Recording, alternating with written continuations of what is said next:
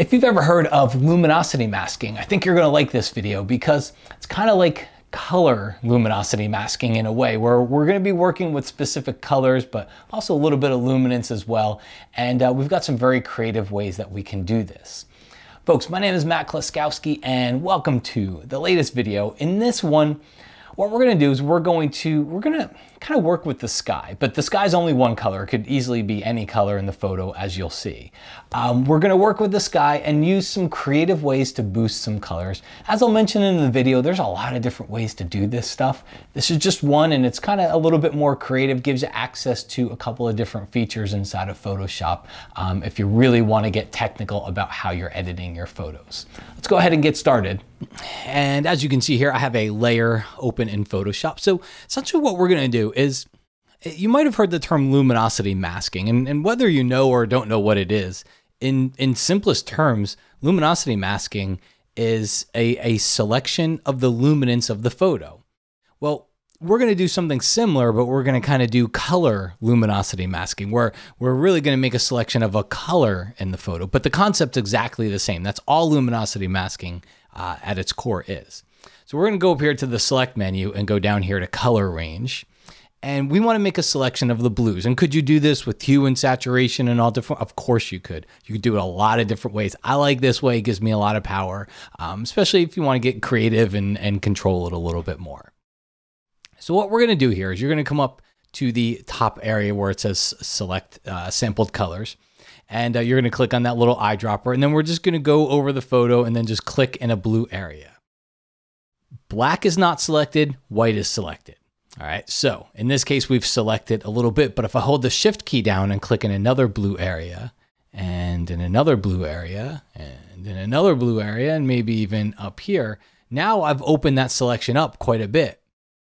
Now, I could also control the fuzziness, which is kind of the, how much, you know, how much leeway that selection has to go find other colors. So I usually keep it pretty low. Range range basically looks if you bring it all the way down it shows you the places that i clicked and how far outside of those do you want it to go. I don't want it to go anywhere outside of those so our, our I, i've already controlled that with my fuzziness so i'm not going to mess with range. I leave it as 100% okay so at this point we all these white areas are selected the black areas are not even if it's not perfect um, you're still going to be able to control this in a minute so don't don't worry too much about it so we'll come down here and uh, we'll go and click OK. This is going to leave us with a selection. Okay. So now that we got a selection, we got the marching ants going on here. All we have to do is press Command or Control J. That puts it up onto its own layer. Usually Command or Control J will duplicate the layer, but if you have a selection active, it will uh, put everything up onto its own layer just like it did here. So if you look at that layer, that's kind of what we got going on. All right, so from here, we're gonna have a little bit of fun with it before we have fun with it, I gotta pay the bills. Uh, if you like getting creative and, and having having some creative flexibility with your photos, um, we have something called a, a 3D color lookup table in Photoshop. We also have something called a profile inside of Lightroom and Adobe Camera Raw. Heck, they even work in, in ON1 and Luminar too.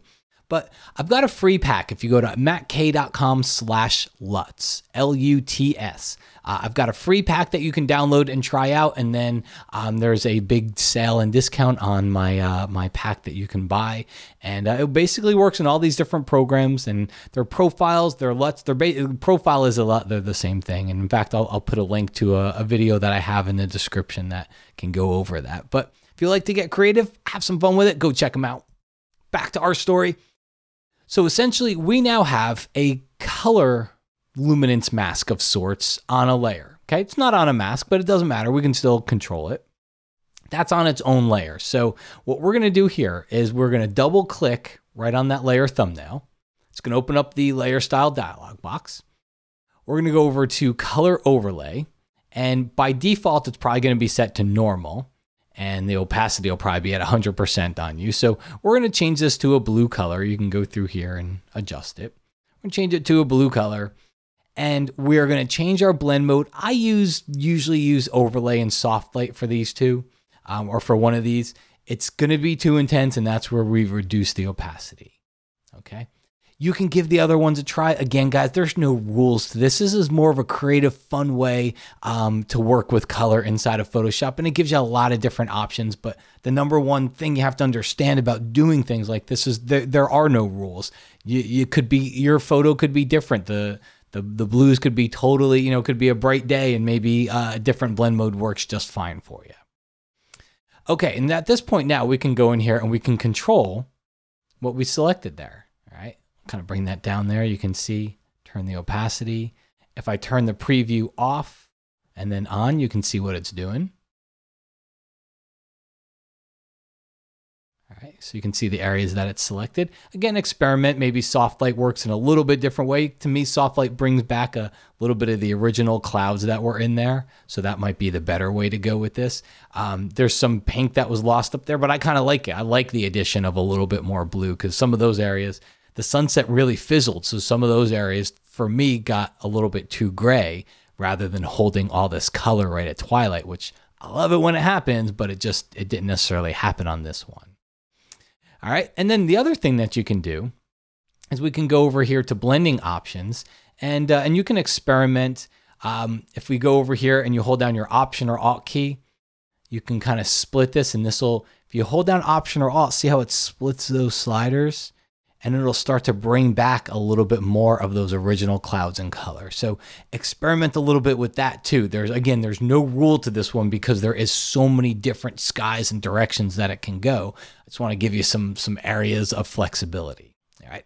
Click OK. All of that is on its own layer. And as I mentioned before, because it's on its own layer, you could use your eraser tool if you're not familiar with layer masking and erase it away from areas you don't want it to affect.